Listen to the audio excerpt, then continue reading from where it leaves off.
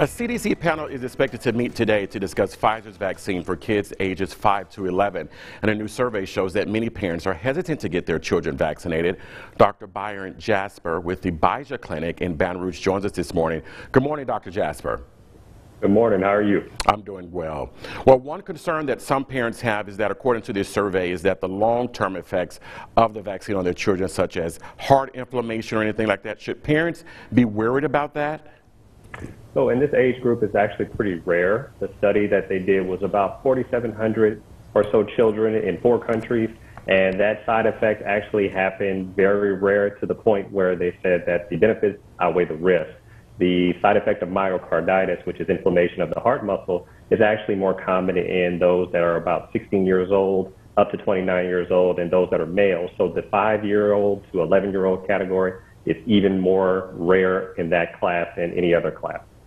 So, what do you say to those parents who are still saying that they will not get their kids vaccinated? So, I encourage it. Um, I have a bunch of patients, um, those that range from very young you know, two or three years old all the way up to those that are in their 80s. And I recommend it for all of my patients. Those that are a little bit hesitant, it's understood that they are, you know, worried about their children. Um, it's a vaccine that's on the newer end, and it also has some risks. But the risks of COVID-19 far outweigh the risk of a vaccine. And more importantly, the side effects that a lot of people are hearing about are so rare and so few and far between that I actually just tell them that it's unlikely that you're going to have a side effect compared to the likelihood of you're going to get COVID-19. And the last question is, of course, we've been in this pandemic for almost two years now. So what do you think it is going to take to get more people, even adults, to get vaccinated? Because there are still a lot of adults on the fence about it.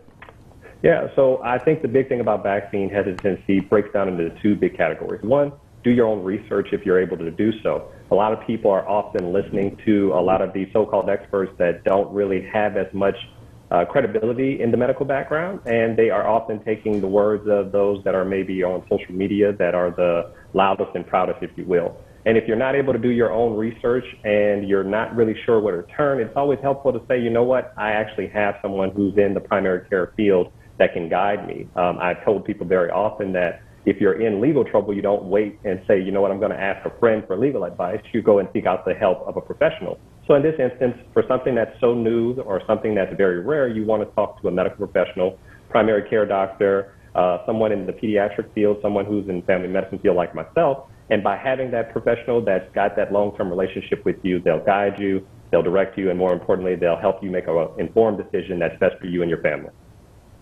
All right, thank you so much, Dr. Jasper. Of course, we're going to try to post this interview on our website, brproud.com, so that many parents can go back and watch it because you gave some very important information. Thank you so much for joining us. Thank you for having me.